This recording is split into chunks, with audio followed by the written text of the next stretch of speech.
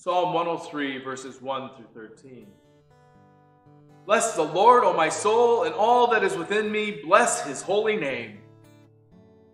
Bless the Lord, O my soul, and do not forget all his benefits, who forgives all your iniquity, who heals all your diseases, who redeems your life from the pit, who crowns you with steadfast love and mercy, who satisfies you with good as long as you live so that your youth is renewed like the eagles.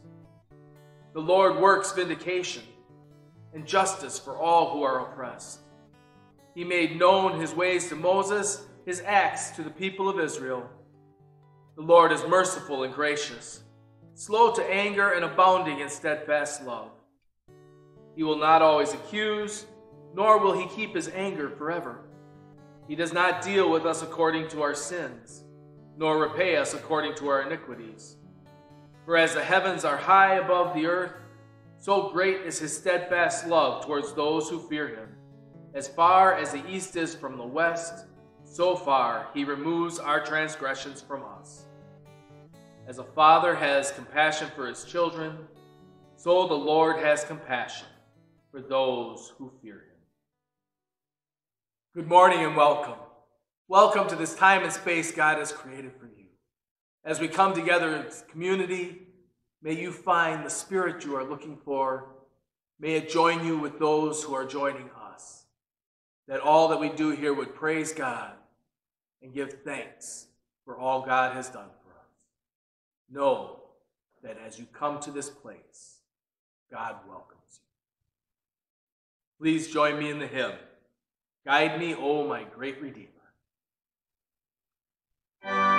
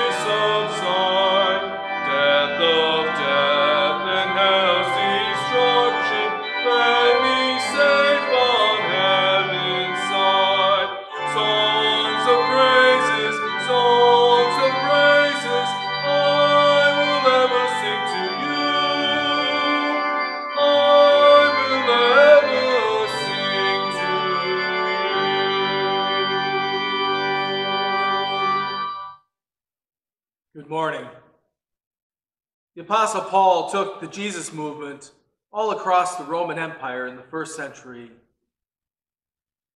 He brought the message of the risen Christ to people and places far away from the Jewish communities where Jesus lived and taught. People of diverse practices and backgrounds around the Mediterranean world were drawn to new communities founded by Paul.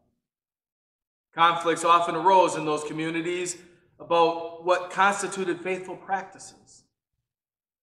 Was it necessary for a Gentile follower of Jesus to first become a Jew and follow Jewish law? Or could a Gentile follow Jesus without first adopting a Jewish way of life, including dietary practices and Sabbath observances? These conflicts were serious and could potentially tear communities apart. In his letter, Paul does not take a side. Instead, he encourages all in the community to keep eyes on what is important faithfulness to Jesus, thanksgiving to God, leaving judgment to God. Within this view, many different ways of following Jesus are possible. Our issues may be different in the 21st century, but Paul's process still has much to recommend it. Please join me in our call to community. Welcome those who differ, but not for the purpose of quarreling over opinions.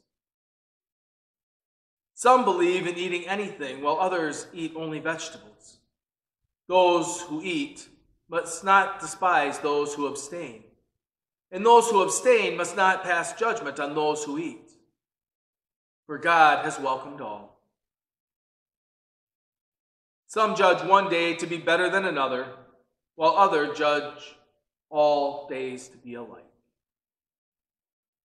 Let all be fully convinced in their own minds. Those who eat, eat in honor of Christ, while those who abstain, abstain in honor of Christ. And give thanks to God.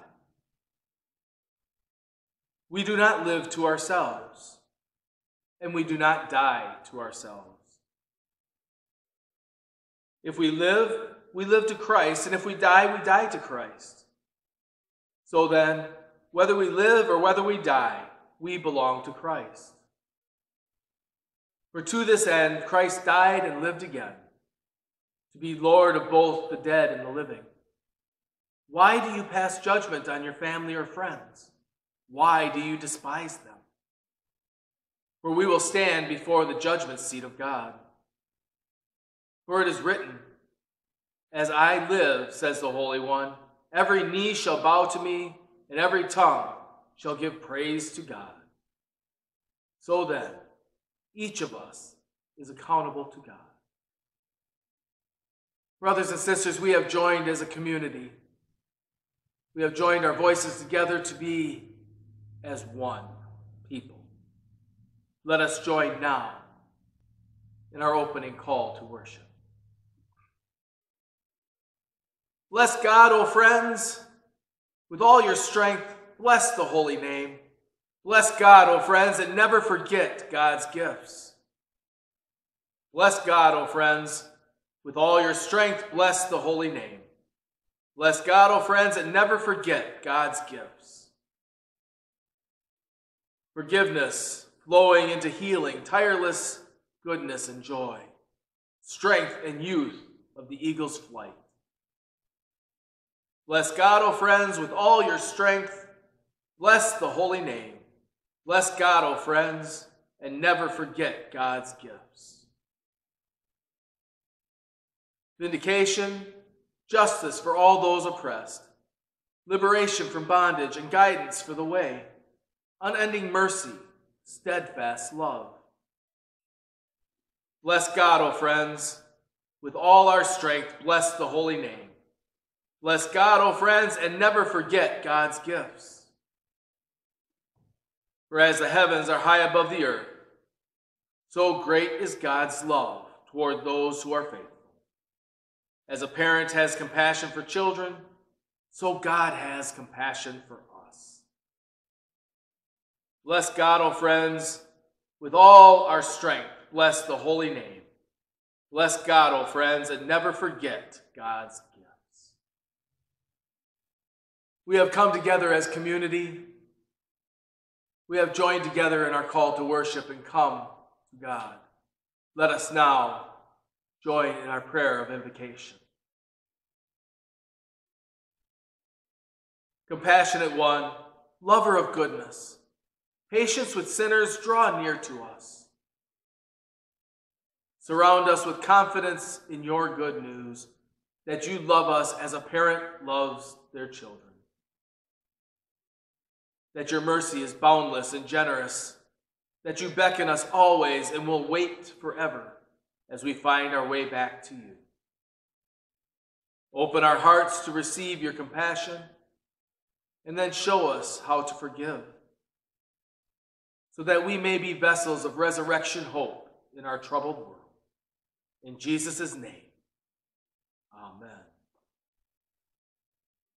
Friends, in the scripture, seven is often seen as a perfect number, a mystical number, a number that points to infinity.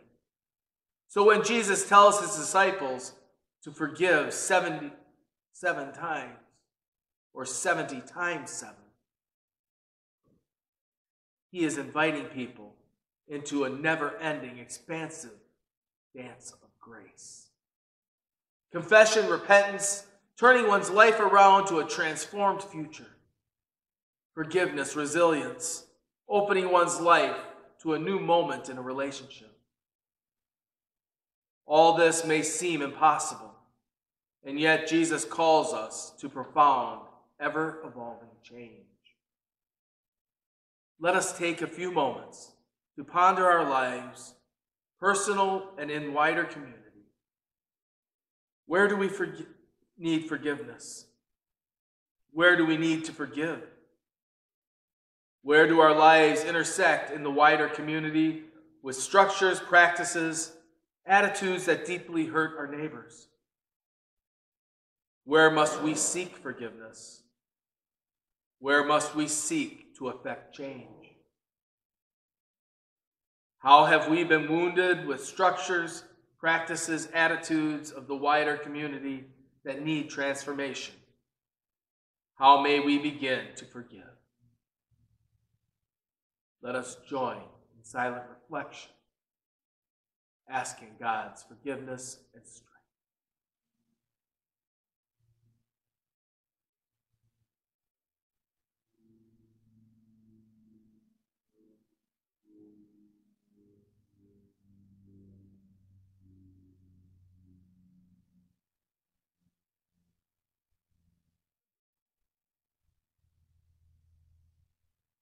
Brothers and sisters, we have come and confessed now let us join our voices together, united in our assurance of pardon.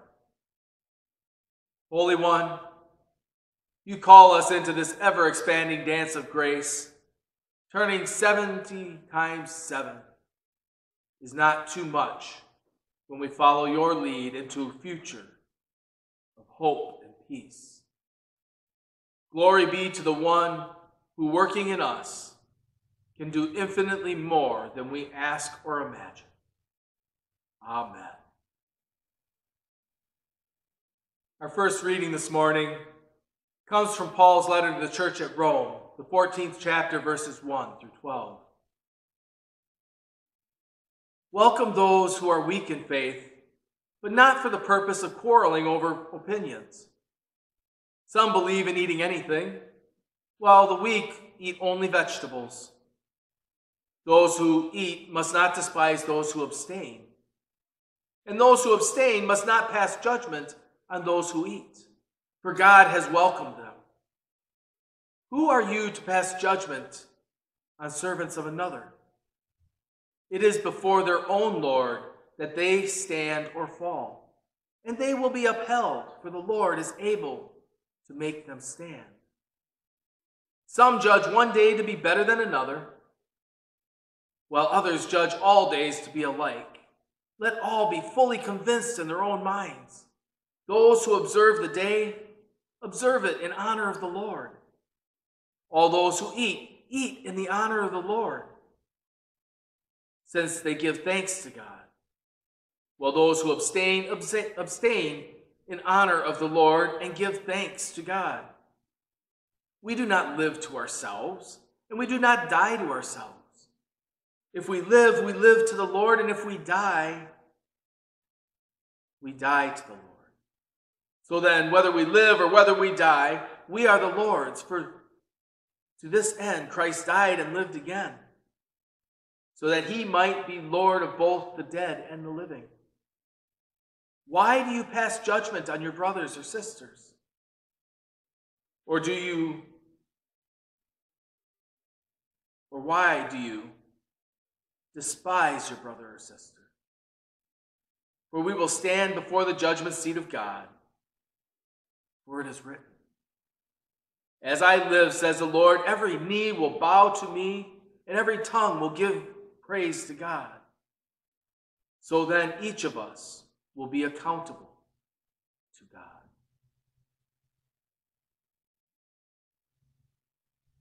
Our first meditation this morning is entitled Make Up Your Mind, But.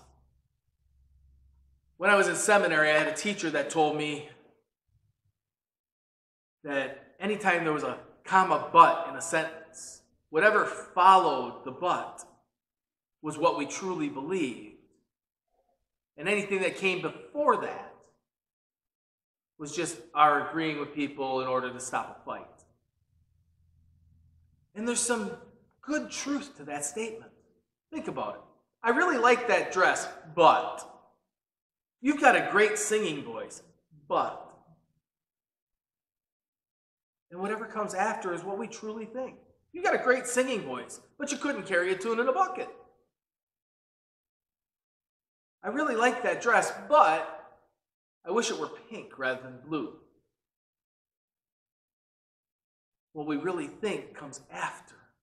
And I want to make very clear that this is what I intend for the title. Make up your mind. But it's what comes after the but that's important. As we grow in our faith, we find new ways of understanding things. And especially in this time in, that we're in, where everybody has an opinion and everybody's opinion is important, and it is. But that belongs to you, and you have every right to your opinion. And nobody has the right to tell you what your opinion should be. And yet, there's another side to that. That also means you don't have the right to tell others what their opinion should be. And we see that a lot right now. Everybody wants you to believe like them. And it's hard to actually buy into a lot of what's being said, no matter where you sit. And it's difficult. And Jesus didn't want that. It wasn't a divisive thing that Jesus came to have but a uniting thing. To be one mind with God. To do what was good and holy. To look at how God had dealt with the world and realize that even though we did wrong, God still chose to love, still chose to take us in, to be a part of our world, to continue to bless and to love. Imagine how different the world would be if that were not the case. So make up your mind, but leave room for transformation and change. Leave room for people to come in and converse and have dialogue. And that's one of the places we are missing out greatly right now as a nation and as a world. There's not dialogue. There's my opinion and there's your opinion. Mine's right, yours is wrong. And I'm going to prove to you why yours is wrong. As Paul is talking to the early church, it is sitting in the same types of positions. As I said earlier, they were trying to figure out okay, if I want to be a Christian, does that mean I have to learn to be a Jew first and take on that faith and then follow Jesus? And that would make me a good Christian? Do I have to follow their dietary laws? Do I have to follow their rules and then I can be a Christian? Or can I be a Christian without doing all of that? And it's still okay. And they were very divided on this whole idea. Okay, I can eat pork, I can't eat pork, I can do this, I can't do that. And if you did it, you were shunned from the church. If you didn't do it, you were shunned by the new people, and they were divided. And Paul comes in and says, it doesn't matter whether you abstain or whether you don't, but make up your mind to follow God. So make up your mind about what you believe, but make a vow to yourself to allow God to come in and transform your world, to change who you are, and to do it through conversation and dialogue with others, through learning about what's important, and through showing love. The other side of any argument always thinks that those who are against are weak. And you can see that now, right? All the arguments that are going on as to whether to open or not open, whether to wear a mask or not wear a mask, whether to have this practice or not have this practice. Do we shake hands or not shake hands? Do we start school up or do we not start school up? Is there a right or a wrong answer? We don't know. That's the answer. We don't know.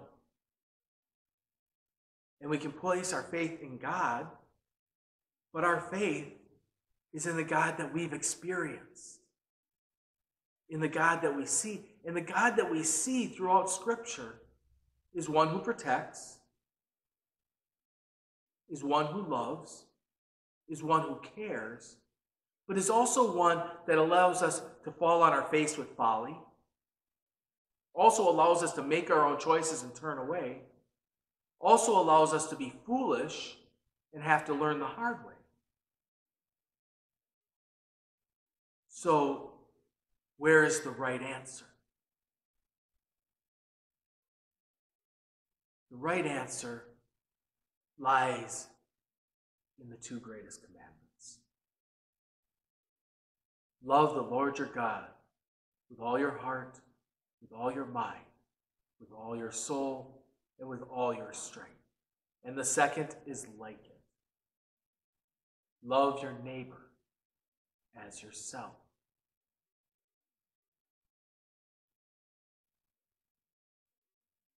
We need to make up our minds to love the people around us, regardless of where they stand. They may not agree with us. That's okay. How boring the world would be if we all thought the same way.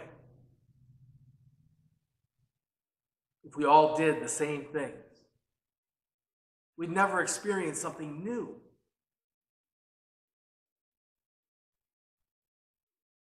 We'd never see change or transformation. We'd never see growth. God has changed and transformed the world and the church for millennia and done it through people like you and I. People who made up their minds to love God and love neighbor have transformed the world.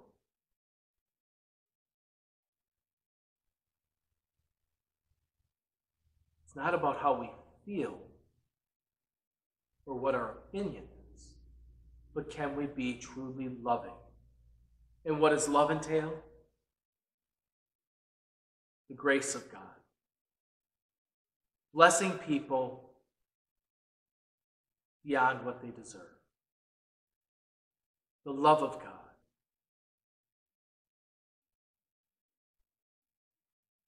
Looking past what you see on the outside and seeing the potential of who a person could be.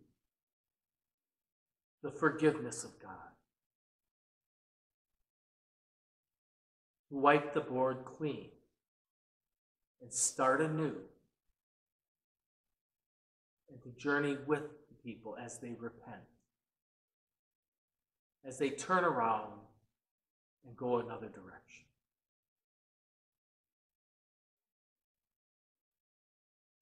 And I dare say, the ability of God to adapt and to meet us where we are at,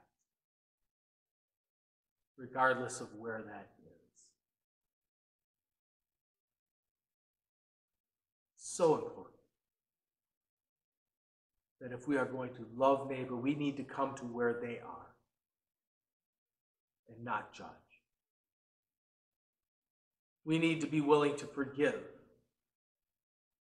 even when it's not deserved. We need to be abundant with our gifts and blessings, even when we are positive that they will not be honored and cherished and used the way we would like them So I tell you today make up your mind, have your opinion, but place your love in God, your faith in God, and love your neighbor as yourself. Please join me in the hymn. If I have been a source of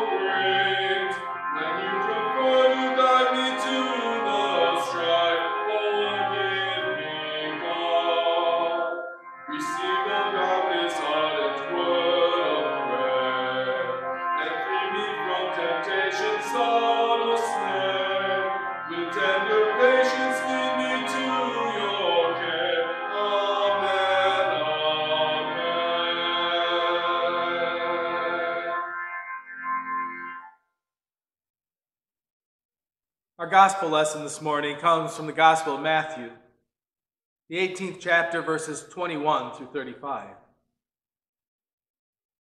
Then Peter came and said to him, Lord, if another member of the church sins against me, how often should I forgive? As many as seven times? Jesus said to him, Not seven times, but I tell you, 77 times. For this reason, the kingdom of heaven may not may be compared to a king who wishes to settle accounts with his slaves. When he began the reckoning, one who owed him 10,000 talents was brought to him.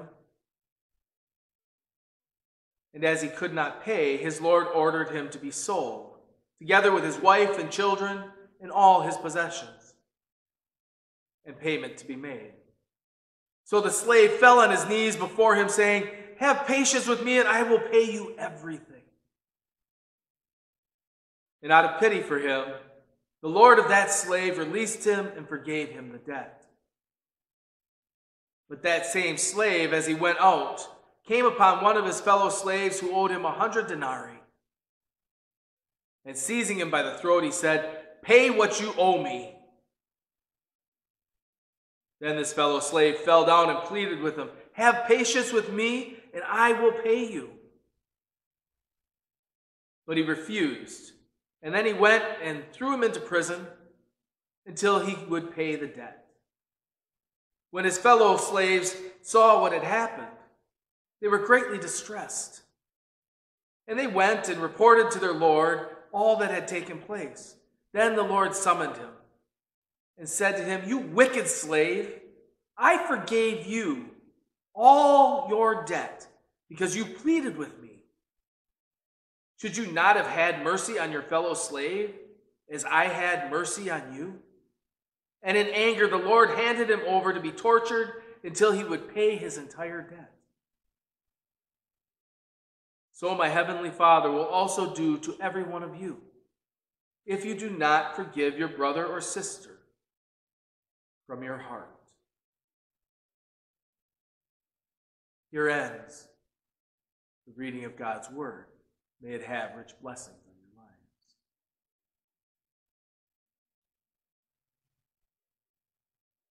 Forgive as you have been forgiven.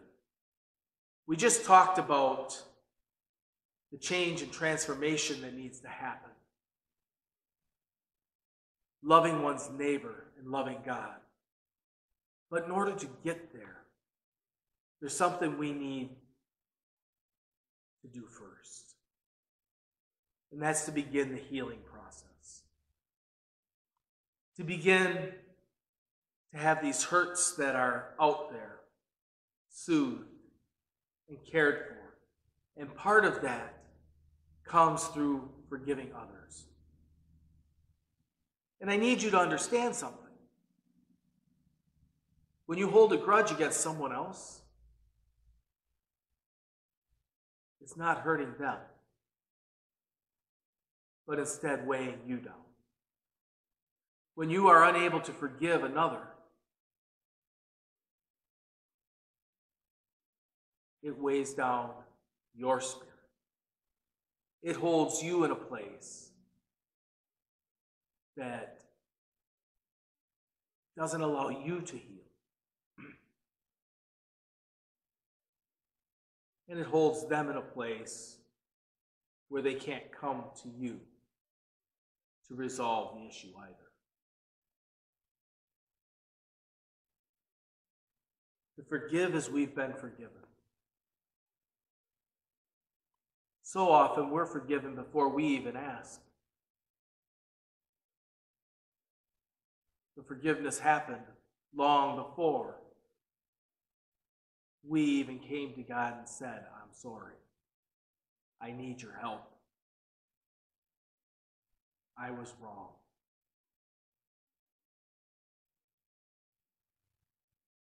Our God is so wise that there's no way we could possibly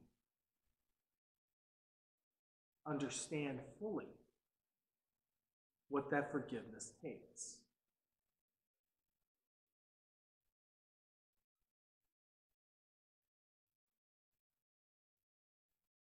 And our God has forgiven so much more than the petty things that we tend to hold against others.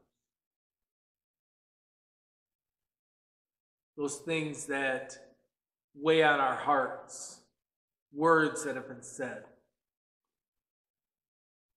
attitudes that have been held, actions that have hurt us. And our hearts can't begin to heal because we can't begin to forgive. And we're there. And I'm afraid that it's going to continue to get worse before it begins to get better. Because our world isn't a place that forgives very easily.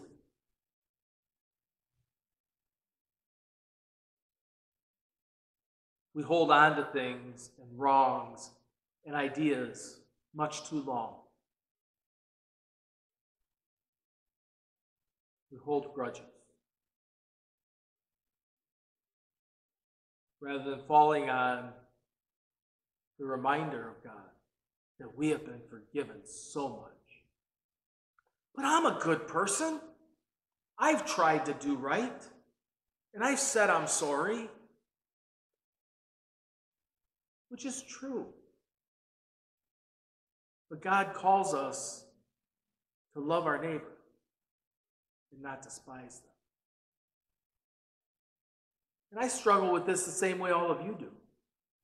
I have a hard time forgiving people. I have a hard time letting go of the wrongs that have been done to me. Some of them are my own doing, my own perception. Think about them and wonder why it is somebody would do that to me. How could they intentionally be out to get me the way they are?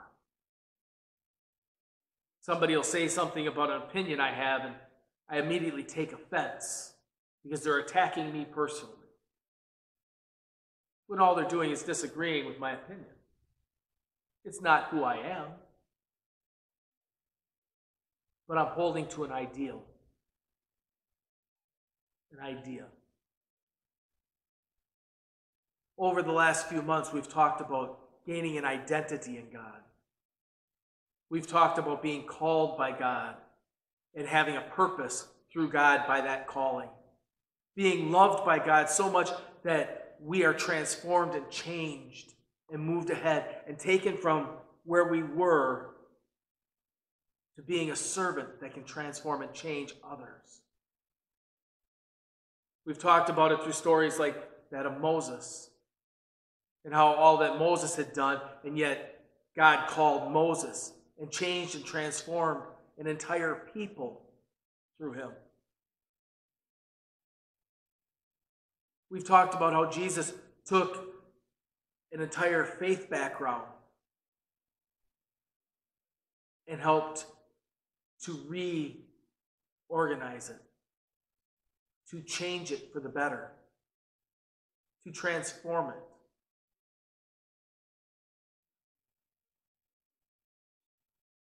And how that simple act of creating communion was taking something old and transforming it into something new for us that we could understand. And it's not that the other people were wrong, but simply that we weren't able to see or agree with what they were doing, and it wasn't drawing us closer to God. So God changes and adapts to where we are at and forgives us that. Forgives us for not being able to reconcile with one another, to see the importance of something to another. We are so passionate about our world that we forget that this life is a gift. That this world is a gift and ultimately is a very temporary place for us. That the goal is actually eternal life with God, it, a place where there will be peace and joy and comfort and love no longer the broken world in which we live. We will be changed and transformed to something much greater than what we have today. So we need to forgive as we've been forgiven. And it won't be easy, but we can start the process. We can be the transformation that has to take place for our world and our nation to begin to heal, to curb the violence, and to become less broken than it was when we found it, or than it's becoming right now. Now, are you going to change the entire world? Are we going to get up tomorrow morning, all kneel down and pray at 8 o'clock, and everything's going to go away. No more riots, no more killing, no more heinous acts of crime. No. But what we can do is change our attitude to allow God to work through us and change the people whom we touch. Imagine how much difference different the story would have been that Jesus told if the slave who had been forgiven went out and forgave his fellow slave that owed him a hundred denarii. Who knows? Maybe that slave would have paid back a hundred plus. Maybe he would have never paid back. We don't know. But imagine what would happen if we had showed kindness and forgiveness and love and grace and done all that we talked about previously. And we trusted in what God tells us that our acts of good will come back to us a hundredfold. We can make the change. But it starts with making a change in attitude and in practice. In answering this call that we've been talking about, finding our purpose in God as we've been talking about, our identity in God, and not in our simple opinions and understandings of the world, and the intricate workings of how everything comes together. Paul talks to us and says, Don't worry about this. Have faith in God. Realize that when somebody else does something, it is out of their faith. Trust that God is working in the people around you. And if that's the case, then they're not out to do you harm, but to do well. And as they grow, they will become more forgiving. They will become transformed and changed. That's not my responsibility to change their opinion and their behavior. My responsibility is to be forgiving and loving and caring, to make the transformations that need to be made for me in order to live into the identity God has made and the potential God sees in my individual person. And to see God work through that to transform an entire people. I know we feel hurt. We feel angry. We are afraid. And regardless of where you are, you are also loved, cared for, forgiven, and entrusted with a calling and an identity that God has specifically for you. But if your heart is going to start to heal, you need to forgive. You need to see through the eyes of God the potential of the people around you. Now, does that mean bad things are going to stop happening? Bad things are going to happen in this world. That is a given. How we react to them. The love and forgiveness and grace that we give in our reaction will result in the transforming change that God is trying to bring about in our world. The question becomes Will you make the change? Will you allow God to work through and in you? And above all else, will you see yourself and others the way God does? As beloved creations, honoring God to the best of our abilities and understanding for where we are at today. May God bless you with sight. May He give you the strength to forgive. May you find acceptance in your heart and in your life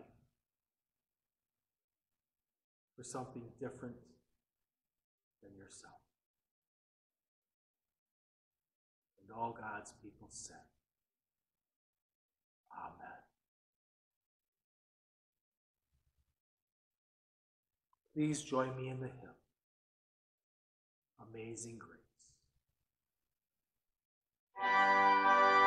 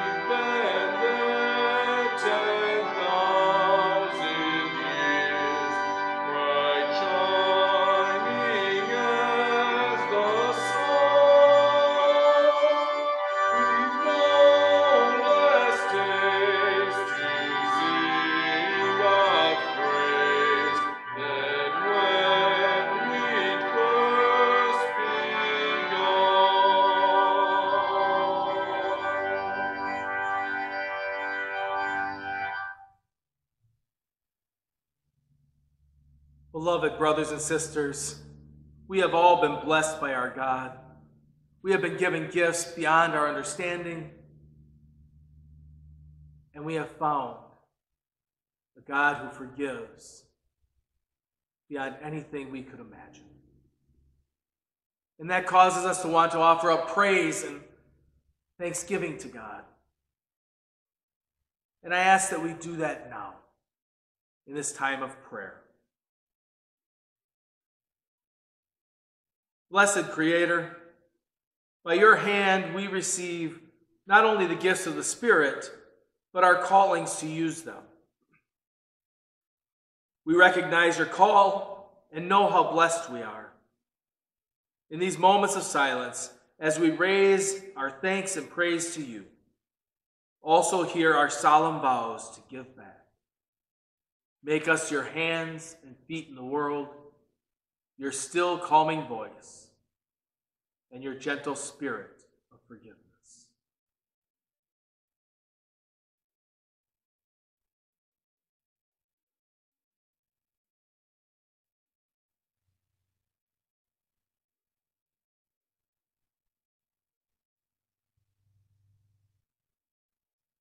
As we have called upon our Lord and made our pledges and vows, let us united with one another in voice and spirit, join in the prayer our Savior taught us, saying, Our Father, who art in heaven, hallowed be thy name.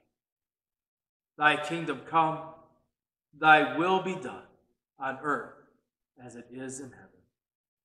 Give us this day our daily bread, and forgive us our debts as we forgive our debtors. And lead us not into temptation, but deliver us from evil. For thine is the kingdom, and the power, and the glory forever. Amen. Now may the Lord bless you and keep you. May he make his face shine upon you and be gracious unto you. May he lift his countenance upon you and give you peace. Go in peace, my friends, and join me in the hymn, O for a world.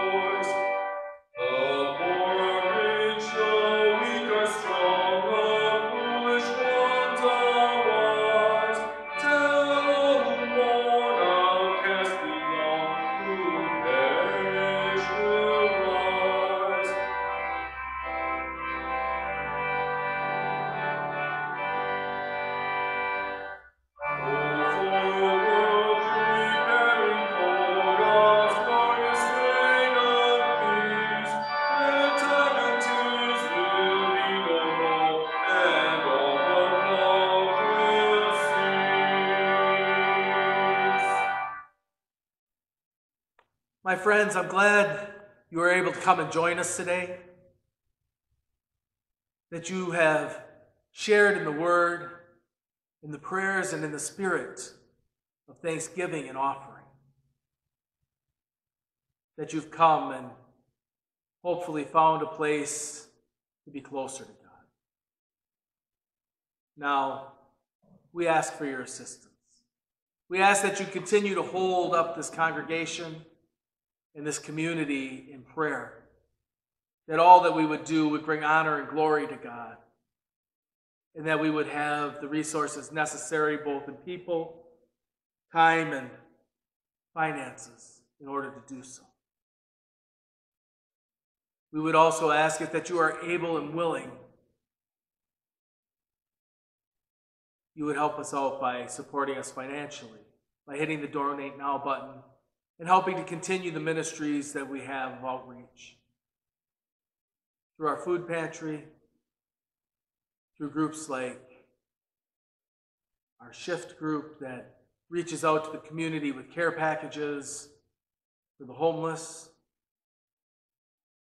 the teens who are in need, those who reach out individually to feed the hungry, to pray for others, and for all of the other ministries that we continue to do here at the church.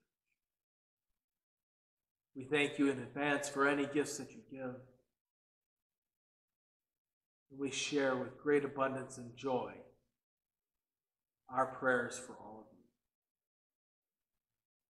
you. May you have a blessed day.